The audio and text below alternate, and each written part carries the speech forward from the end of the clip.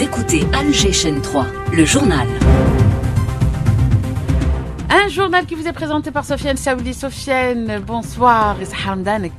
Boatba, bonsoir, bonsoir à tous. C'est Sahar comme c'est le premier jour de Ramadan ce lundi en Algérie. Le président de la République Abdelmajid Tebboune a adressé ses vœux aux Algériens avec une pensée particulière pour le peuple palestinien sous génocide sioniste. Chargé par le président Tebboune, le premier ministre Nadel Arbaoui a installé aujourd'hui la commission nationale de préparation des festivités du 1er novembre, ce 70e anniversaire cette année 2024. Il a souligné l'intérêt du chef de l'État pour euh, cette commémoration. Les nombreux événements d'importance de ces derniers temps confortent davantage la position de l'Algérie, nouvel acteur majeur des scènes régionales et internationales. L'éditorial de la revue Le de ce mois de mars le souligne. Les marchés de proximité à prix imbattable ouverts, des plus fréquentés d'ailleurs en ce début de. L'exemple d'El Kalama Safexa à Alger, on évoquera également la lutte contre le gaspillage. L'Union nationale des paysans algériens qui salue les indemnisations décidées par le président de la République au profit d'Isaac agriculteurs impactés par les récentes intempéries. La pharmacie centrale des hôpitaux, quant à elle, s'attelle à revoir sa gestion sur instruction du président de la République. Raza sous les bombes affamé en ce mois de Ramadan. Le secrétaire général de l'ONU a appelé à faire honneur à Ramadan et à faire taire les armes sionistes. L'Afrique du Sud demande de nouvelles mesures à la CIJ alors qu'elle est sous forte surveillance de l'occupation sioniste. On parlera également de sport de football et ses nouvelles euh, médailles dans l'escarcelle des Algériens aux Jeux africains au Ghana.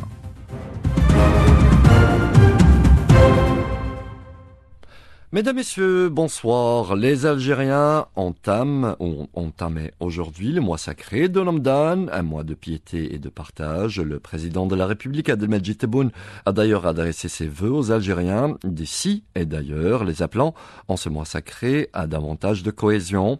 Une pensée également aux Palestiniens victimes du génocide sioniste. Le président de la République a une nouvelle fois exhorté la communauté internationale à assumer ses responsabilités reviendra dans cette édition euh, sur la situation en Palestine occupée, ça précisément, mais aussi sur l'ambiance du premier jour de jeunes en Algérie. Mais avant, cette installation de la Commission nationale multisectorielle, commission chargée de préparer les festivités commémoratives du 70e anniversaire du déclenchement de la révolution du 1er novembre, installation par le Premier ministre Ladel Arbaoui aujourd'hui, chargé par le président de la République Abdelmajid Tebboune. Le Premier ministre ministre qui a souligné dans ses propos l'intérêt particulier porté par le président Tebboune à cet anniversaire et son souci de lui donner un retentissement euh, considérable. Un programme à la hauteur de l'événement national est élaboré. L'Aldir Al-Arbaoui a appelé justement à associer les différentes franges de la société, notamment les jeunes, à cette euh, célébration. Et les événements importants de l'actualité ces derniers jours de l'Algérie nouvelle dans la région mais aussi à travers le monde, soulignés par la revue El Jaish dans son éditorial de ce numéro de mois de mars. Elle démontre euh, pour l'éditorialiste la position de l'Algérie comme acteur majeur.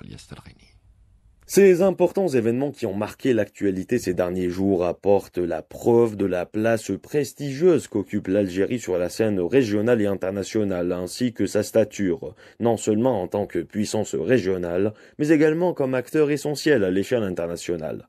Le septième sommet des chefs d'État et de gouvernement du Forum des pays exportateurs de gaz tenu à Alger de dimension mondiale a été véritablement le sommet des grands défis, en pleine tension géopolitique, ce qui reflète, écrit Al-Jaish, la position prestigieuse de l'Algérie, sa fiabilité énergétique, un acteur effectif pour la sécurité énergétique mondiale.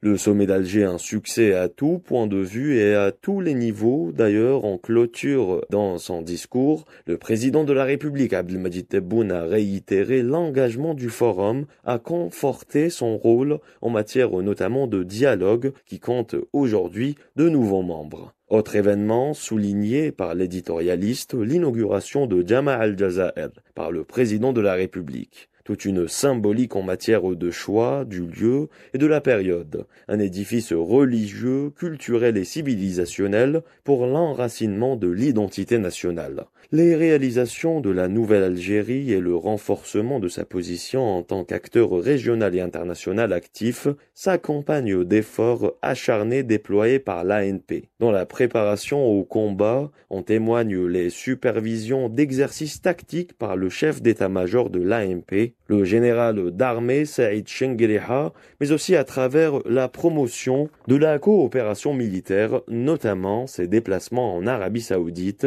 au Rwanda et au Qatar. On le disait dans l'actualité ce lundi, premier jour de Ramadan, mois certes de piété mais aussi qui connaît toutefois l'intérêt particulier des citoyens pour l'achat de produits de large consommation. Encore cette année, des marchés de proximité, de solidarité de rahma sont installés. El Kalama a ouvert ses portes aujourd'hui pour vendre des produits à prix compétitifs. C'est à la SAFEX que cela se passe. Le ministre du Commerce, Taïb Zetouni, s'y est rendu cet après-midi pour une tournée d'inspection. Ce matin, Mayel 15 a réalisé ce reportage. En ce premier jour de Ramadan, les citoyens sont venus nombreux s'approvisionner au niveau des stands du marché El Karama, des fruits et légumes et autres produits agroalimentaires qui sont proposés. Ces consommateurs sont satisfaits quant au rapport qualité-prix. Par rapport au marché à l'extérieur, le prix. Parce qu'à l'extérieur, les pommes de terre parce que elle est très bien. Les congelées, c'est très abordable. Les prix, même au côté fakia, ça va.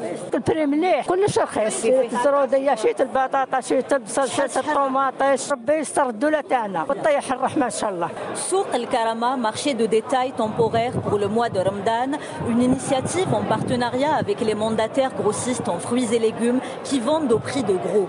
Une première en son genre, souligne Wede Adjenen, directeur général adjoint de Magro. Cette expérience, c'est une première pour nous. Souk El Karama, c'est des prix pour Ramadan. C'est des prix à la portée de tout le monde. Vous avez par exemple la carotte ici, elle est à 50 dinars le kilo. Hein. La betterave, elle est à 40 dinars le kilo. La tomate, elle est affichée aujourd'hui à 90 dinars. C'est abordable à mon sens. Le poivron, il est à 150. Le piment, il est à 150. C'est des prix que je crois qui sont abordables pour le citoyen algérien et qui pourront lui permettre euh, de passer un ramadan en toute quiétude. Ces marchés de proximité assurent la disponibilité des produits et contribuent à lutter contre la flambée des prix.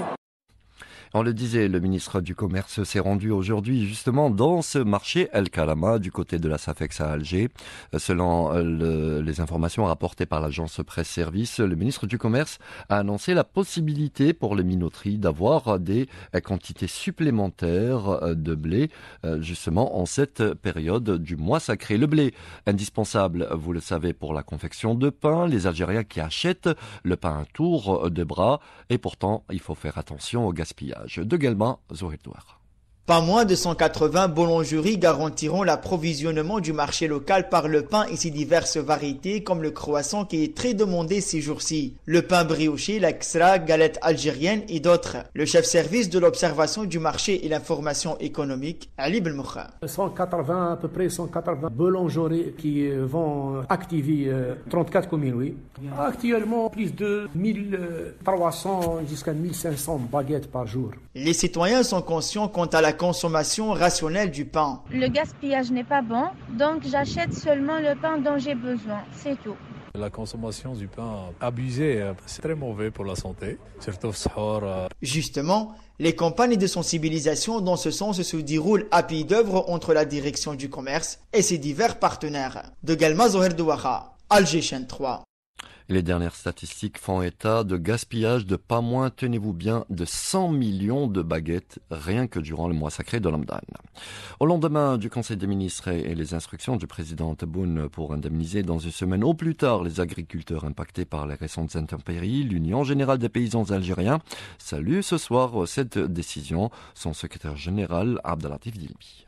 ثمن هذا القرار دائما يرافقنا ويشجعنا ويدعمنا خاصة بعد dernières inondations qui a touché sept wilayas dans l'Est algérien. Donc nous sommes très heureux de cette décision qui aide l'agriculteur à continuer à travailler dans sa terre. إذا نحن جد مسرورين بهذا الدعم خاصة خاصة التعويضات اللي راح تكون من طرف الصندوق الوطني للتعاون الفلاحي على الخسائر تاع الفلاحين. قضية 5 ملايين ما هي إلا يعني رمزية بالنسبة للفلاحين تشجعهم وتدعمهم وراح يكون إحصاء عام ريسونسمون جينيرال فيما يخص هذه الانونداسيون من طرف لي دي اس لي ديريكسيون دي سيرفيس اغريكول إن شاء الله كي يكملوا راح الصندوق الوطني للتعاون الفلاحي هو اللي يعوض الفلاحين المتضررين هذه الفيضانات الأخيرة.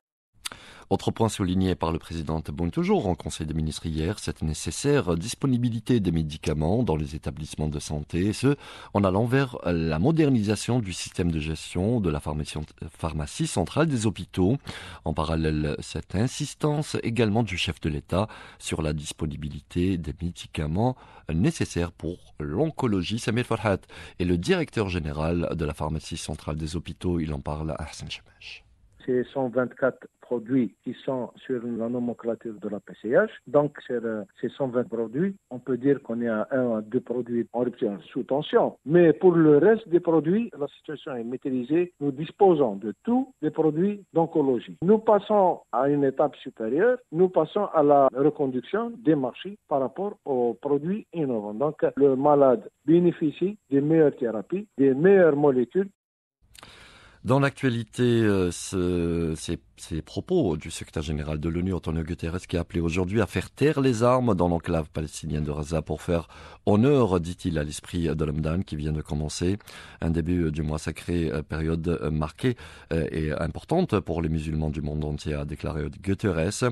Un jour, un moment de piété, de valeur, de paix, même si le début de l'Amdan, les morts et les bombardements et le carnage se poursuivent à Gaza, ceux de l'anti sioniste. Sachez que l'Afrique du Sud vient de relancer la Cour internationale de justice. Son président Cyril Ramaphosa a rappelé à l'instance internationale que l'occupation n'a pas appliqué les injonctions déjà euh, décidées par la SIGE. Maître Gilles Devers représente le groupe d'avocats pour la Palestine à la CPI. Il en parle Alias Elrini.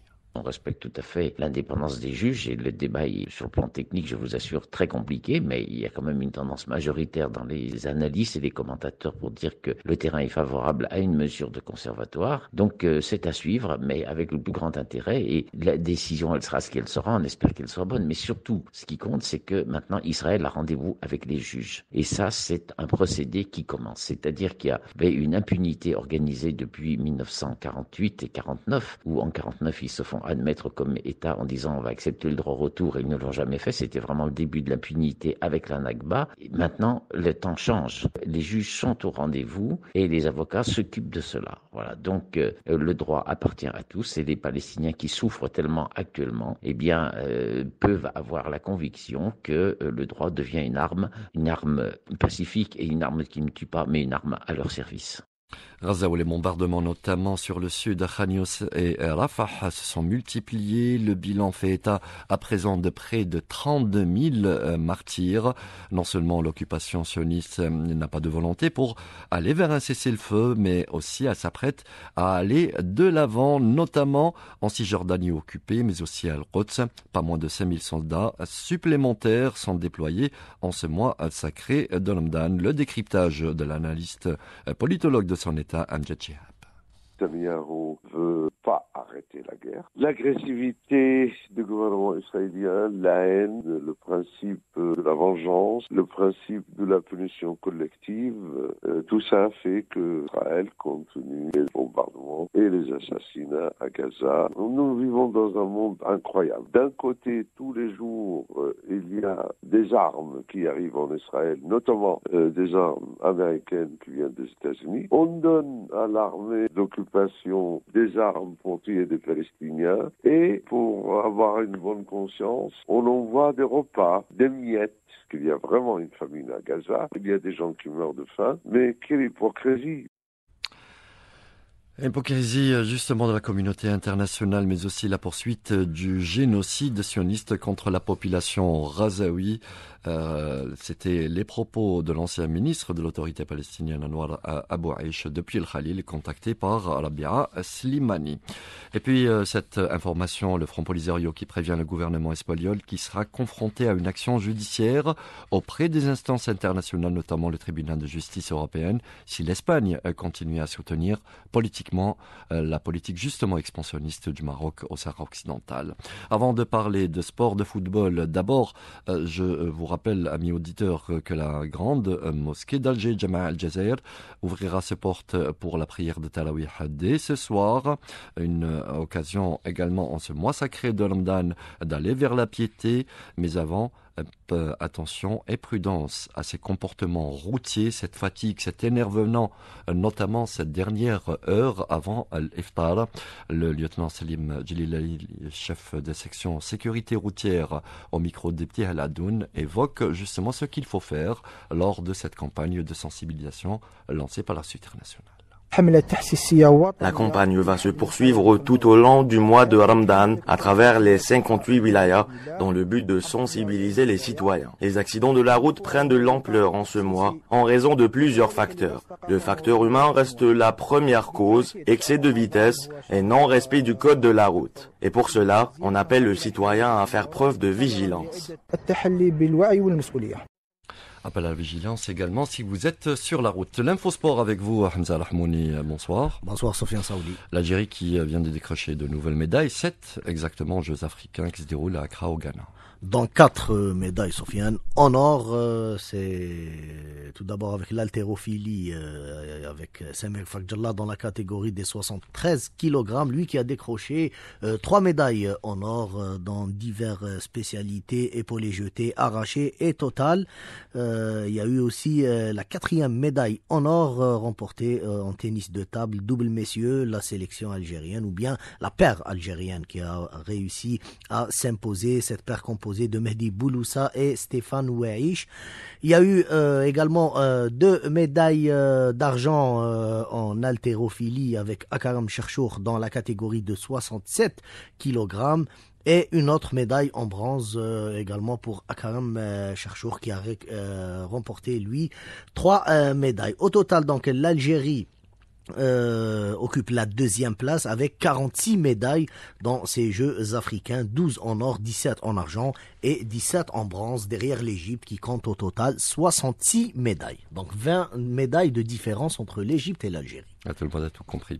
Question euh, football, il y aura un tirage au sort euh, des quarts de finale des compétitions africaines, interclub. Oui, oui, demain à partir de 13h heure algérienne au siège de la Confédération africaine de football, il y aura malheureusement qu'un seul représentant après l'élimination amère du Shabab Agadi de Belouizdad en phase de poule de Ligue des Champions. Donc l'USMA en Coupe de la Confédération connaîtra demain euh, son adversaire plutôt en quart de finale. Le match aller se jouera le 31 mars son déplacement et le match retour le 7 avril au stade du 5 juillet.